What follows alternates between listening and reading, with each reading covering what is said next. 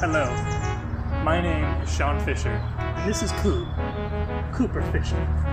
Together, we're working on an indie game called Koob Dog. It's mostly inspired by Crash Bandicoot, Mario 64, and Sonic Adventure. If you're interested in any of those retro-sounding games, please check out Koob Dog on Steam today.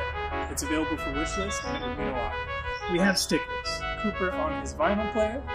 We have the Koob Dog metallic logo, and then we have both together. Again, please check it out if you're interested. It really means a lot, and it's hard to find people to wishlist the game. I don't really know how to market this, so thank you.